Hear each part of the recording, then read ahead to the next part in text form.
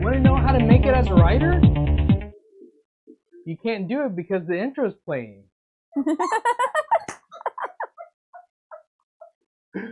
what, want to know how to make it as a writer? Find out next on Geek Out SA.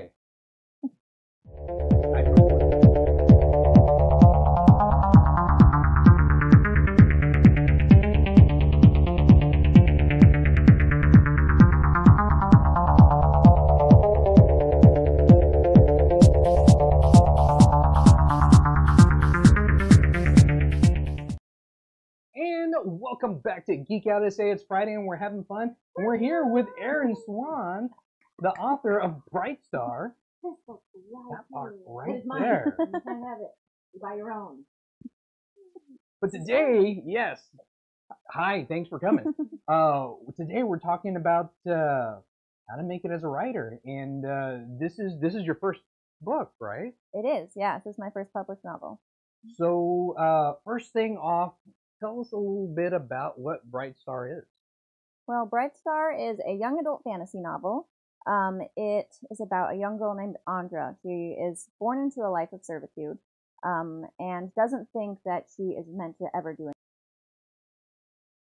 Stuck in this place. Um, and then a team of assassins comes to the palace where she's serving and they kind of botch it and Nice. end up taking Andra with them, and Mhm. she finds out about this secret rebellion that she had no idea was going on, um, and kind of gets thrust in with these rebels and starts to discover her own power and discover that she was meant for so much more than servitude. And there's magic and dragons and a little bit of romance and yeah, Very Magic and dragons. Magic and dragons, yeah, I mean, yeah.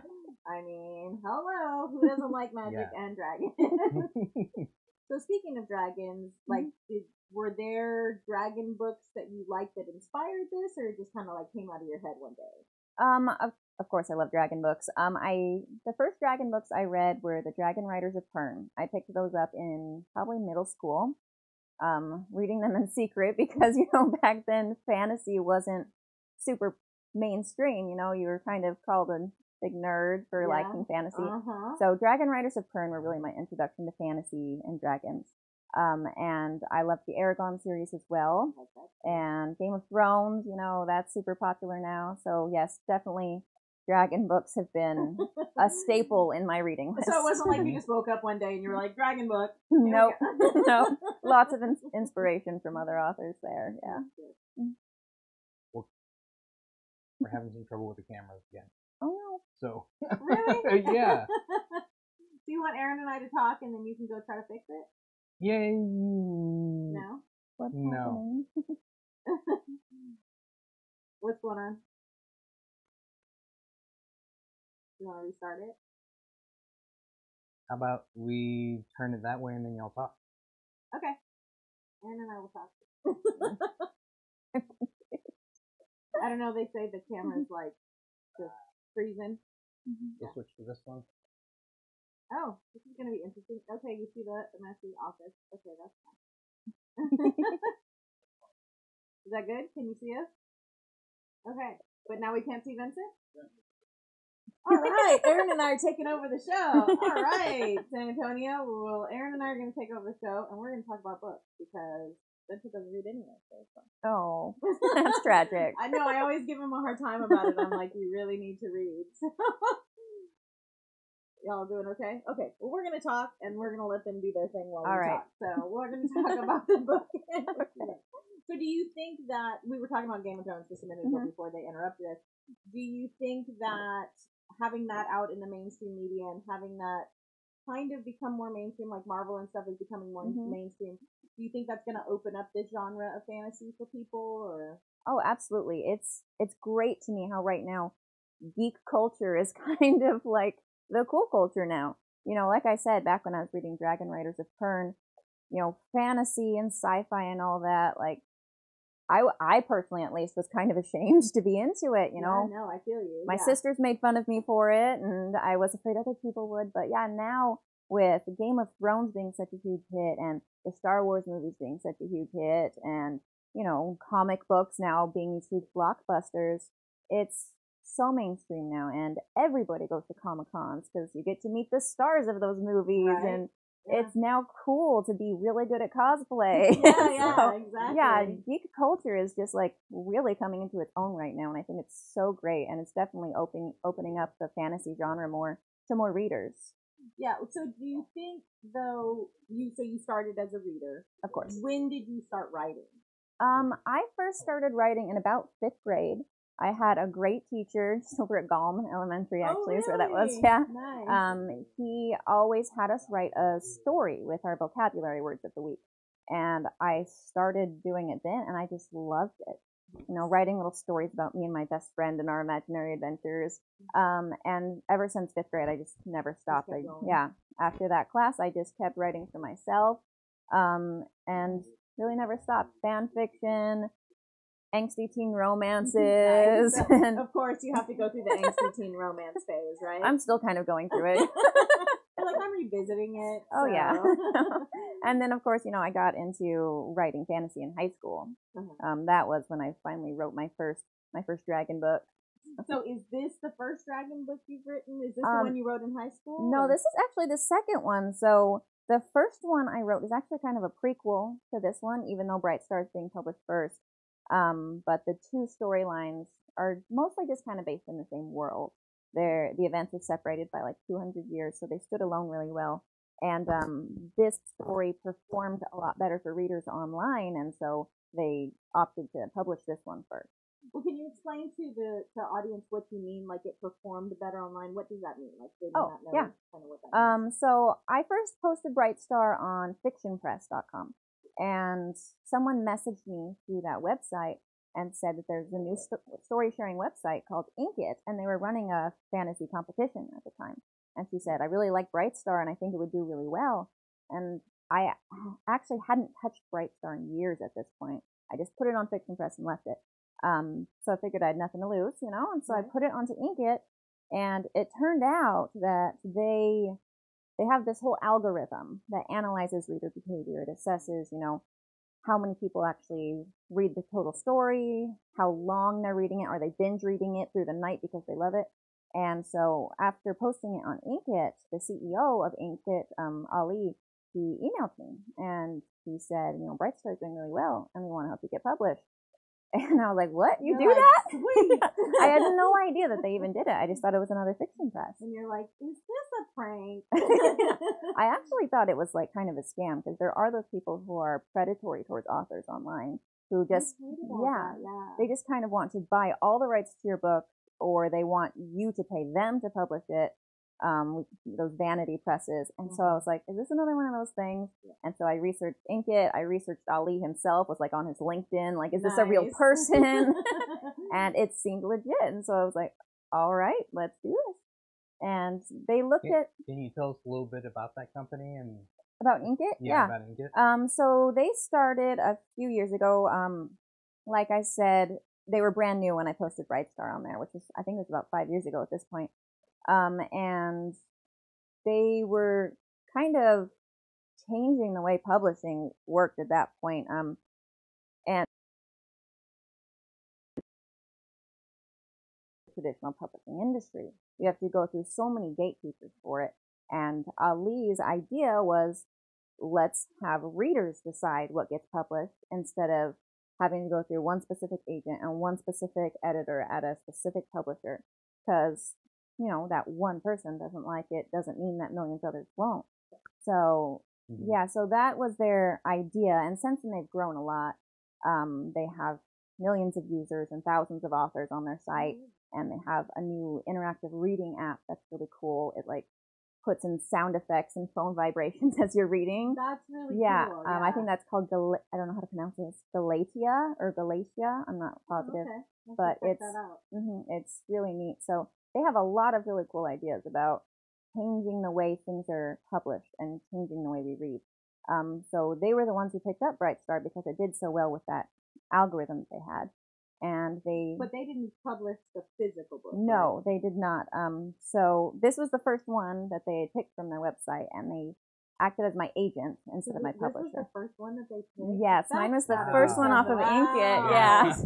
the first one chosen by their algorithm. So yeah, they took it to the Frankfurt Book Fair in Germany. They're a German-based company. Oh, okay. Um, and so they pitched it to publishers there for me, and Tor picked it up from there.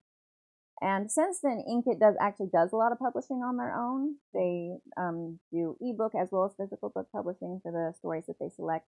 So they've really changed their business model since picking Bright Star. But yeah, they've been a great team to work with and a fantastic agent for me. So So what are, what are some of the struggles that you were coming into when you were writing this book?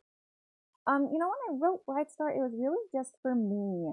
I wasn't really thinking about trying to publish or thinking about writing it to appeal to a publisher. I was just like, I want to write about dragons, so I'm gonna do it.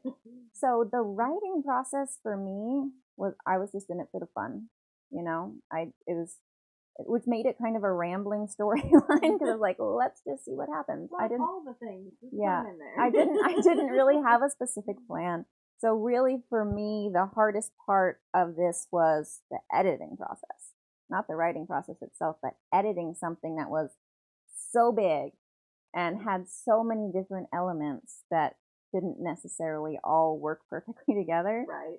Trying to sort of Frankenstein my way through it, like chopping out pieces and putting it back together and putting in new parts to make it still flow. So the editing process was Yeah. really a lot harder for me than the writing process. Do you happen to like work off of a outline, or how do you how do you keep yourself on track? So I am what the writing community calls a pantser. We go by the seat of our pants. Um, I'm not so much a plotter. Um, in the editing process, I did actually have to go back and outline everything and try and figure out the timeline and things that, you know, made it go on for way too long and Mhm. por- portions that I could pull out that didn't tie into everything. So I did have to go back and outline for the editing process. But did they request that of you, or did it just become something that was more easy for you to do? it was just something I had to do for me to, you know, make it work because I was struggling so hard, like trying to make sure the timeline still lined up with all the cutting and rewriting I was doing. Mhm. So that was just for me. But when I'm first writing a story, I usually just kind of have a general idea with a few plot points that I know want to happen, and then I just kind of write until all the dots connect. I'm I'm mostly a pantser, going by the seat of my pants. Yeah.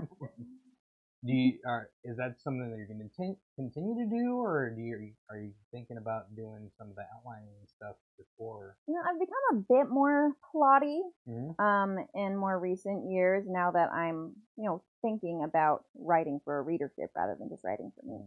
Um, so that has shifted a little. I do a little bit more plotting, but you know, mostly I still, I'm still a bit of a, I'm still mostly a pantser because you know mm-hmm. your process is your process, and that's Yeah. how you write. That's that's what works for you, and there's no one right way to do it except the right way for you.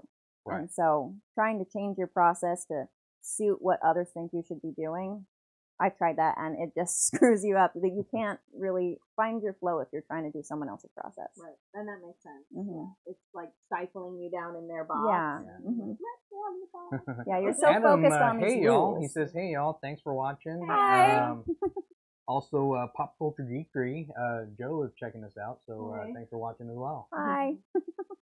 So uh, yeah, if you have any questions for Erin, please uh, ask them, And uh, if you want to know something about writing, um, I have a question for Erin. Okay. Yes. I haven't read the book yet. so there is there are dragons in here. What how Yes. integral are they to this storyline? Uh, they're very integral. So, um, Andra, she gets into a lot of trouble because she interrupts a pairing between they every year. Young boys are paired with a dragon, and she interrupts that and kind of screws it up and gets into a lot of trouble. One of the hatchlings doesn't pair because it's so distressed now, and so um, so yeah, there there are dragon riders in this world. They're kind of like the the main military force. Um, the leader of the rebellion that she gets pulled into is a dragon rider, um, and she forms a very close friendship. Um, not giving away any spoilers. she forms a very close friendship with a with a wild dragon, Oh, okay.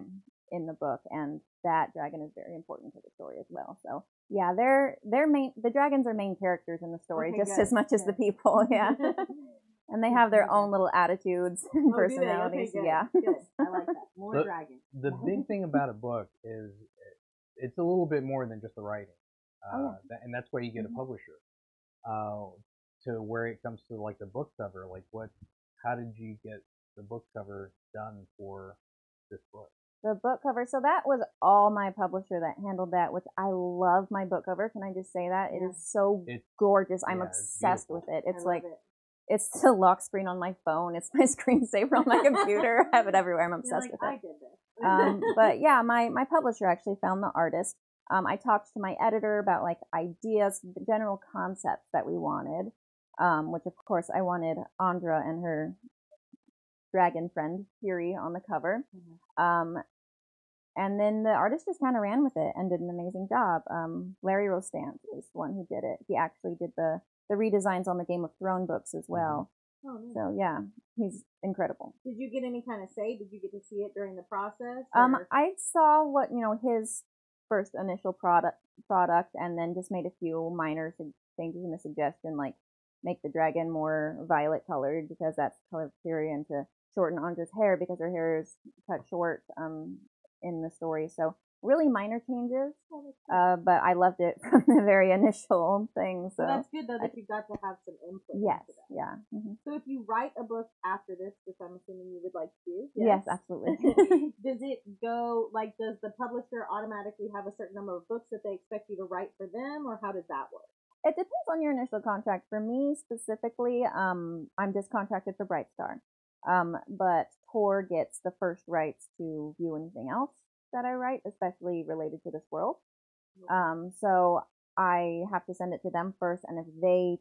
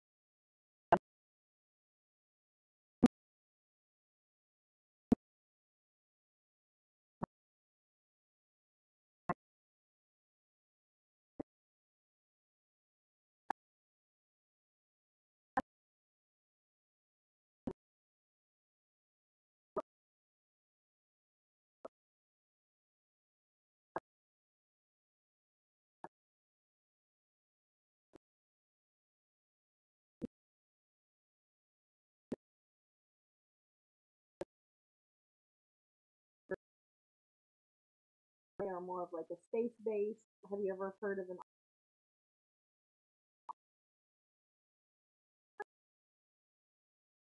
the publisher, because you have publishers. I mean, Tor, my publisher, is specifically science fiction and fantasy. Um, so they're always going to be looking for those genres. So really, it's based on your publisher. You really just have to know which publishers to look for for what you've written. So yeah, And what do you think about getting rejection? You didn't have to actually go through that, no, I didn't. I was nice. really lucky. Yeah. but what do you think?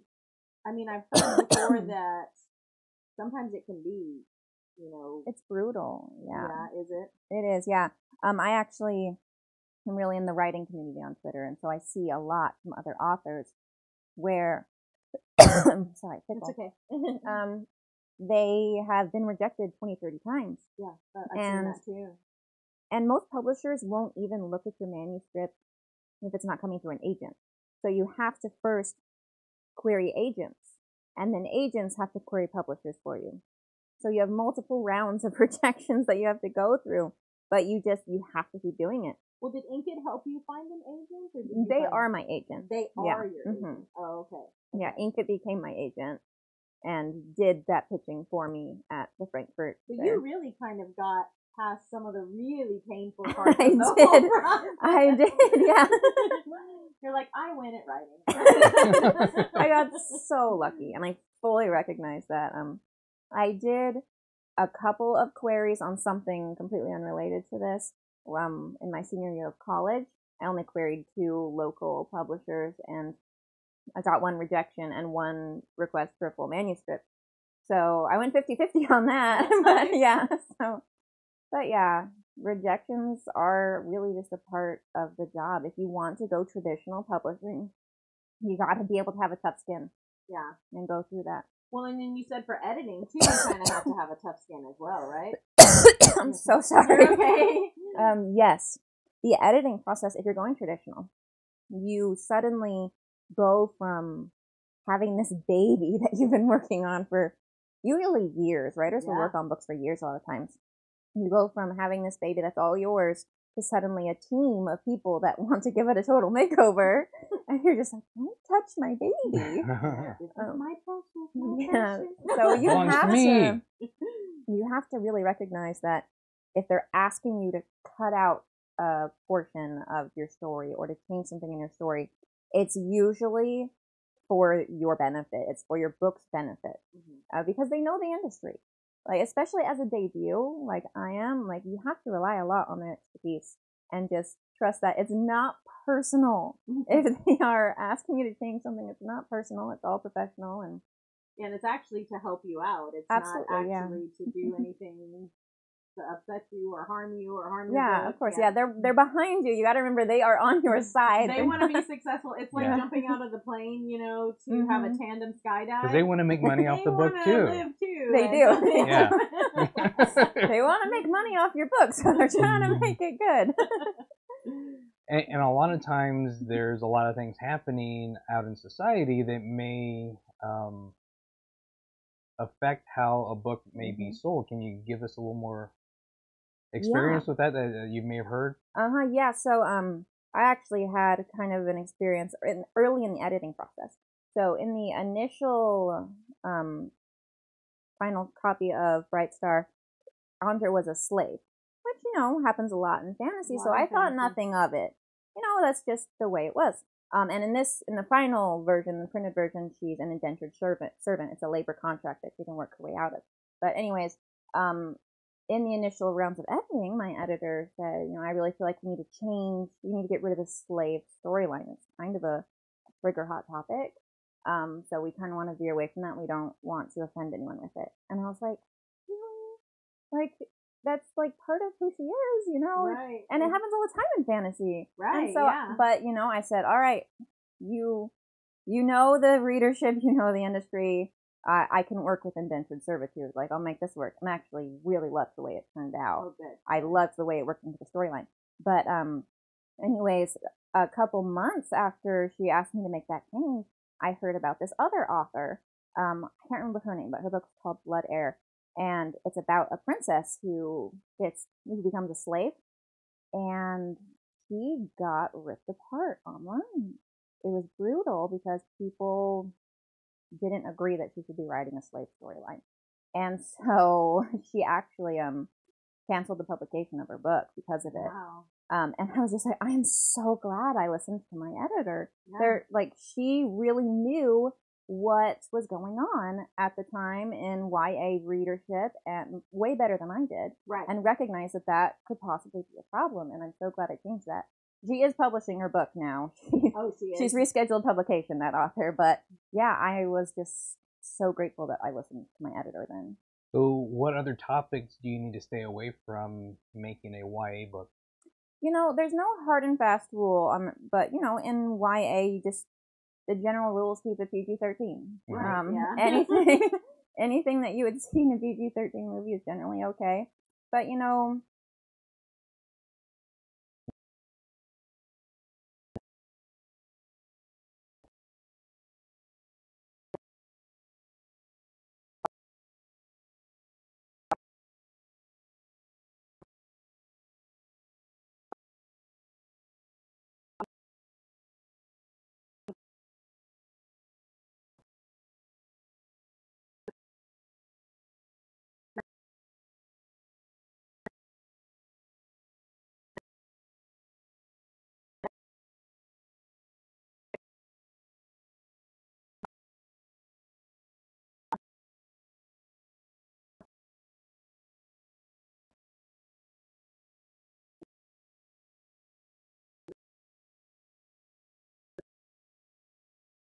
Well, I kind of actually have in my head, um, this is a part of a series with distinct characters, distinct storylines and separate books, capable of standing alone but tied together, being in the same world. Um, so I've actually started the sequel to Bright Star. Oh, nice. Um, it's not contracted or anything yet. Um, it's called Blood Moon, and I can't really say who the characters are. Okay, no, that's okay. but it takes place about 18 years after the events of Bright Star. oh, okay. hmm So Andra and the male main character, Kale, he they are both in it. Um, so they're but kind of as side characters. They're not the main focus. Oh, okay. And that's kind of my vision is to have these things where the book stands by itself, Mhm. but you can see the connections. So that's that. that's my goal. I have other projects as well that are unrelated. So But mostly in that fantasy genre. yeah, or mostly in the fantasy genre. Yeah. not no horror. or- No, No? not really a horror writer. If I branch out at all, it'll probably just be more angsty teen romance. You're like Twilight. Watch out! I'm coming for you. No, no vampires. I no, don't no vampires no. either. Well, so you were talking about having it stand alone and having it like be in that world and stuff. Mm-hmm. Um, I talk a lot about. I love Star Wars, and Mhm. I love. I'm like probably one of the only people on the planet who loves what they've done with Star Wars. I like that we still get to stay in that universe and we see some of the things continuing to happen over and Mhm. over again. Like if you watch those families and you watch that Yeah. continuing to Mhm. happen. And so now they're letting the world be, you know, with Rey and Finn Mhm, and Poe, and, and so we're still there in the world. Yeah. But so, it, do you like the way some of that is starting to happen, or do you prefer a book that kind of stays with the same characters? Because there are geeks out there that want to hold on to the character, right? They're going to want to hold on to your course. I mean, character. you love your characters, and you you never want to say goodbye to a, the characters in a good book. Mhm. But you know, I I like it both ways. I love meeting new characters and falling in love with new characters and seeing their journeys. Because you know, everybody's got a journey, and Yeah. you got more people have stories to tell. You know, more characters have stories to tell. So, I mean, I I love following the same character for books and books at a time. I will follow them through their entire life if I can. but you know, I have no problems with being introduced to new characters like Rey and Finn. I I love Rey and Finn. I think they're fantastic. So- well, you were saying earlier that you had done some fan fiction writing as well. Oh yeah. do you think that writing the fan fiction gives you that practice to kind of be able to see from other Mhm. characters' perspectives? fan fiction is fantastic. Um, whether it's just whether you want to call it practice or just fun, I mean, it's wonderful to me. Like that is an aspect of fandom that I think is really underappreciated. Like it's such a great way to learn to take established characters and recognize decisions that they would make, things that are in character for them, be able to write in character, as well as introducing original characters into a world.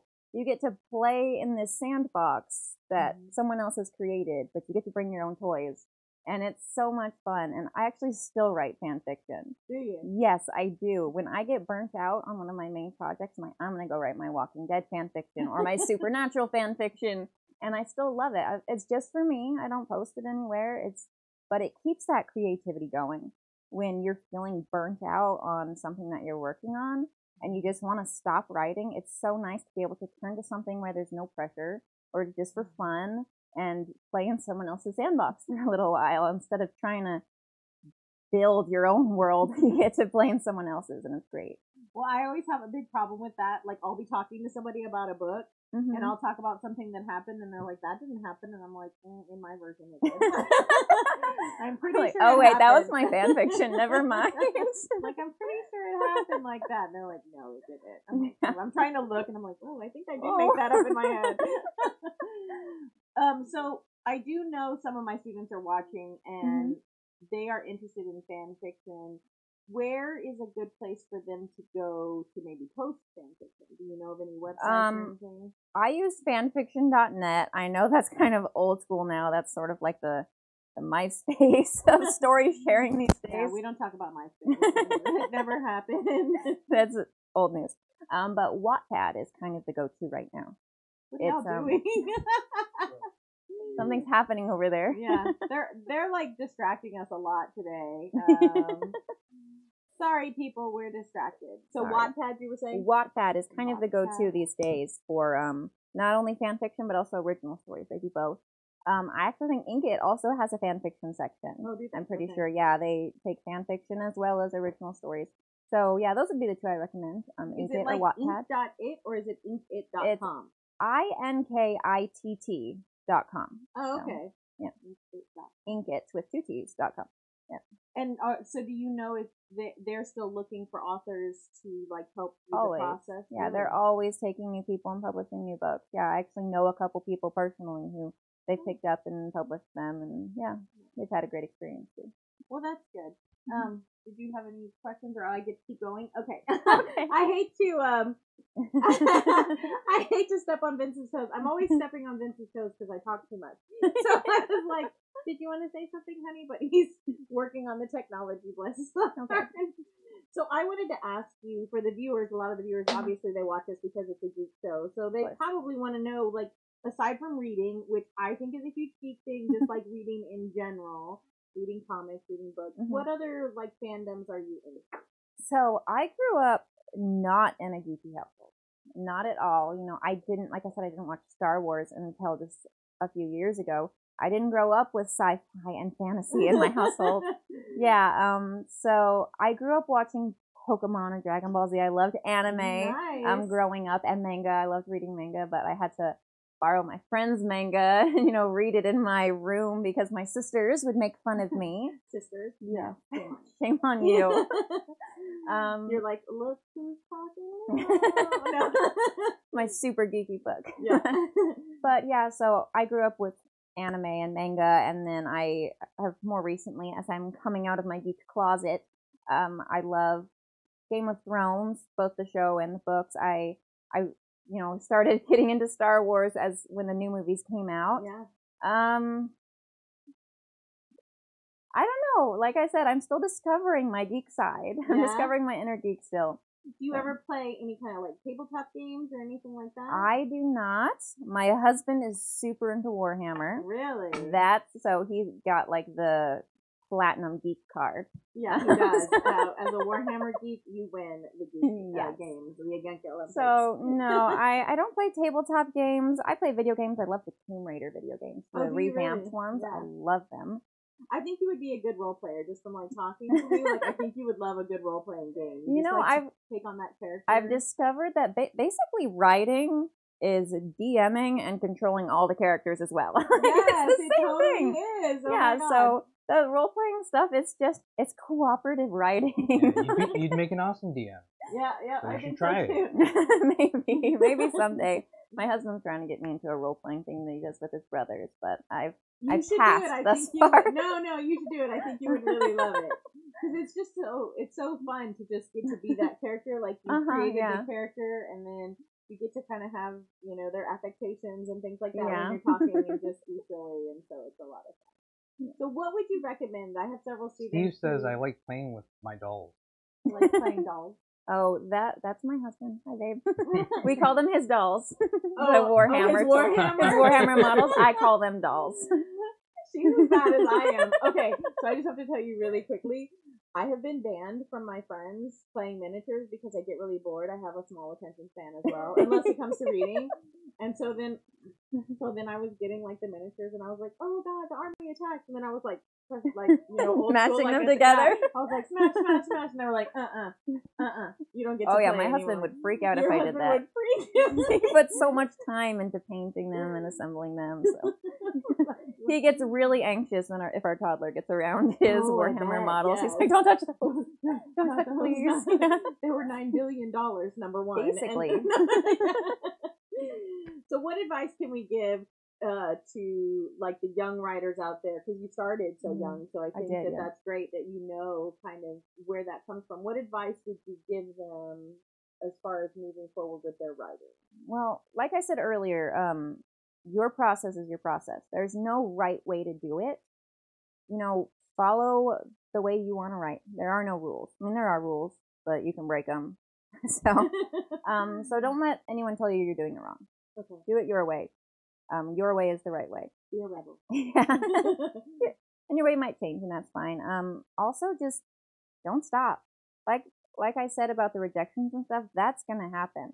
If and if you're sharing online, you're gonna get bad reviews. That doesn't mean you should stop writing. It just means you're learning. I mean, I still get bad reviews. Like it happens. It happens. Like, And if you're trying to traditionally publish, you're gonna get rejected. It's gonna happen. It happened to J.K. Rowling. It happened to every author that's ever been King, like, published. yeah. Every author that ever that has ever been published has been rejected, and so you can't stop. Whatever happens, just don't stop. I heard, or I read, I think from Stephen King. I don't know. I heard or read that they recommend that you just write the whole thing. Like, don't go back and read what you've read because you get stuck in like this loop. Did you ever do that? Do you write all the way through, or what do you kind of do as far as that goes? You know, I actually do a little back reading. Like I said, you can break the rules. but um, you know, everybody's different. A lot of people will write out of order. They'll write whatever scene comes to them and then go back and fill in the gaps. Um, so I personally write beginning to end. I write chronologically. Um, but I do I like when I sit down to write, I like to go back and reread the last few pages. I feel like it helps me get into the flow of the story Mhm. to remember where I was at and remember what's happening. And so that's the way I do it. Do you write every single day? I try to. Yeah. Um, you know, it kind of just depends. A lot of people will tell you you have to write every day. You don't. You can break that rule You too. break the rules. um, because Uh, Erin's all about breaking rules. I'm a watch rebel. out. um, but you know, if it shouldn't be something that you have to like struggle to do, you need a break.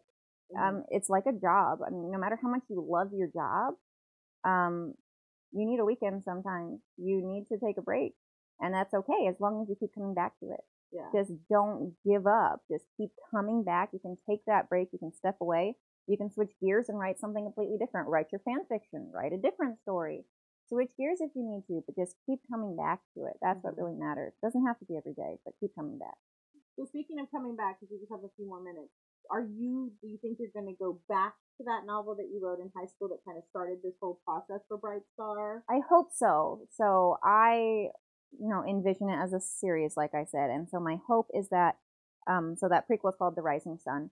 My hope is that we will go back to that, do a thorough edit. You know, I was 17, and the Right, rating's right, not right. fantastic. Um, we will go back to that, and it will be way published. more teenage angst than there should be now. Mm, a little.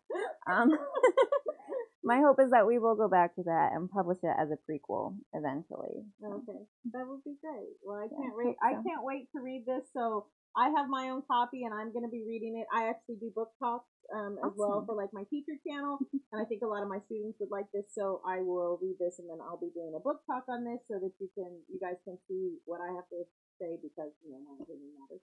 No. okay. Um, we just have a couple of more minutes. Are you Mm-hmm. doing any signings or anything here from San Antonio? I know that you spent a lot of your time and you graduated here in San Antonio, but you don't really live here anymore. Mm-hmm. Right. Yeah. Um, do you know if you're going to do any book signings or anything? Um, here? right now, all I, all I have scheduled is some school visits. Um, so that's all I'm doing while I'm in San Antonio is visiting few classrooms and school libraries and stuff to talk to kids and encourage them to write because you know, it's important. Yes, so that's all I'm doing right now in San Antonio. Um, I have a book signing coming up in Salt Lake City, which is close to where I live, in October. That'll be my first official book signing event. Nice. Well, we'll have to post that up and show people what you're doing, and then if you ever come back down this way, just let us know, and we'll let people know. So I will be coming back out. all the time. My family lives down here, so we're here probably at least twice a year. nice, nice. all right. Did you want to come sit on my lap, honey, and say goodbye? So, Erin, thanks for coming out and uh, hanging out with us. Thank Uh, you so much Leave for having way. me. you gotta leave. They can't see you. Sorry about all the issues with the uh, with the video, but Happens. it happened. uh, but thanks for checking us out. I'm Vince. Erin and I are entertaining. Just kidding. I'm Colleen. That's Erin, and that's Stuart over there. Geek You gotta say. say.